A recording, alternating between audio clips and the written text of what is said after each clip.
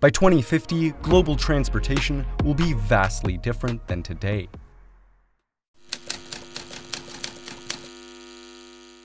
By 2050, cars will be electric and fully autonomous. Car brands will follow Tesla's lead, releasing new high-tech EV models. New battery technology will enable some of these to have 1,000 mile ranges.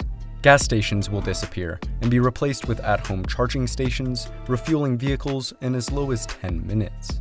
Meanwhile, self-driving technology will become widespread, allowing people to lay back and relax while their cars drive themselves. Autonomous semi-trucks will travel cross-country, delivering shipments with no human interaction. On a smaller scale, autonomous delivery vans and robots will do the same for packages and food orders. Lastly, in the air, swarms of delivery drones will drop off packages from floating warehouses.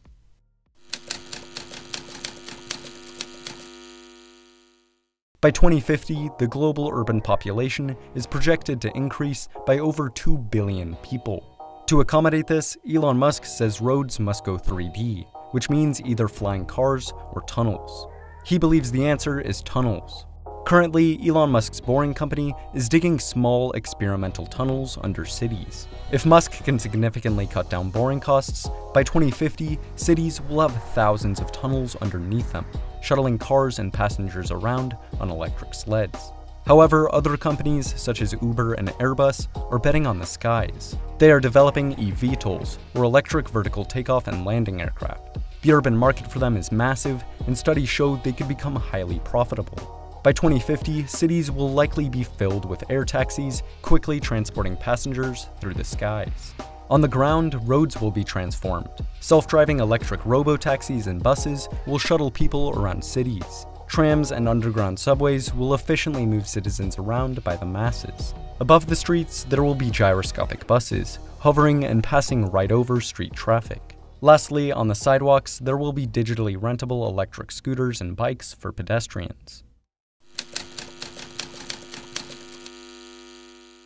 By 2050, high-speed railways will be everywhere.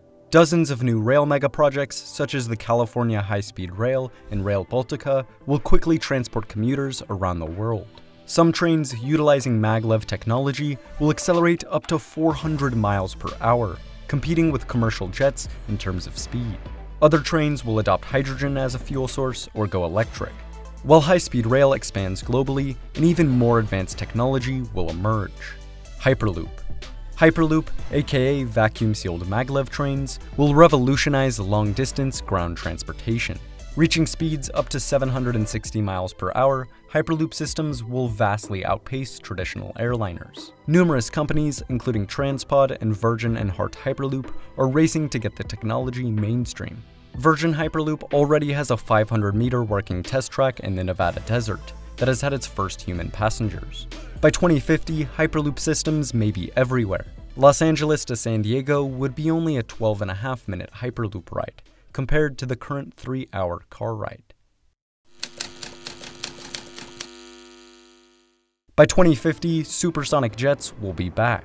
Currently, Boom Supersonic, Virgin Galactic, and a list of other companies are planning to get them back in service by 2030. Soaring between 1,000 and 2,300 miles per hour, these aircraft will be up to four times as fast as typical airliners. Still though, planes will go faster. Right now, the startup Hermeus is developing a Mach 5 hypersonic passenger aircraft that it hopes to have finished by 2029. With it, New York to Paris would be only a 90 minute flight. By 2050, we will have Concorde-like but safer super and hypersonic aircraft. Still though, these will be small scale. To help fight climate change, large-scale airliners will have to go green. To solve this, electric airplanes will emerge. Currently, the British airline EasyJet is developing a fleet of electric airplanes that it hopes to have in service by 2030. With ultra-low fuel costs and improved batteries, by 2050, electric airplanes will likely dominate short-distance domestic flights. However, they will be relatively slow and have short ranges. For longer range trans and intercontinental flights, hydrogen-powered airplanes will become dominant. Airbus is helping fulfill this vision. It is developing three concepts of hydrogen-powered commercial aircraft, which it hopes to have flying by 2035. Utilizing green hydrogen combustion, these airplanes will fly just as fast as current turbofan aircraft. By 2050, they could completely replace fossil fuel powered airplanes. While planes go green, they will change shape. Currently, the Dutch airline KLM is developing the Flying V, an airplane where the fuselage is the wing. This design will increase space inside while hopefully cutting fuel consumption by 20%. KLM hopes to get the planes in service by the late 2030s. By 2050, they may be everywhere. Lastly, airships will return. With plenty of space, 80 to 90% fewer emissions than airplanes, amazing views, and the ability to land almost anywhere, airships are making a comeback. By 2050, they may be commonplace, transporting cargo to remote locations and serving as luxurious sky yachts for the wealthy.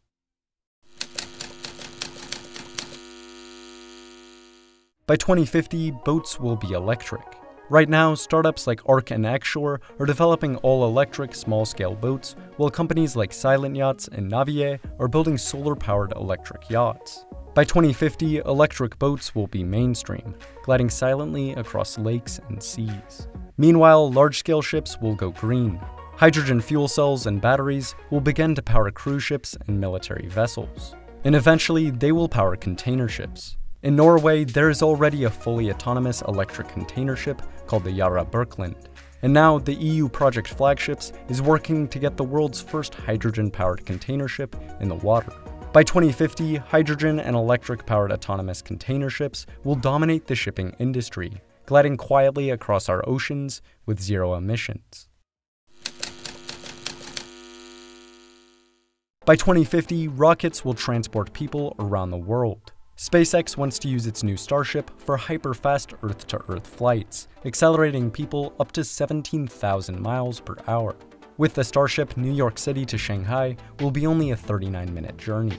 By 2050, rockets will also transport people between planets. Starships will shuttle space tourists to the moon and transport colonists to Mars. Meanwhile, a space elevator will be developed. By 2050, the Japanese Obayashi Corporation plans to have a space elevator, built using carbon nanotube technology.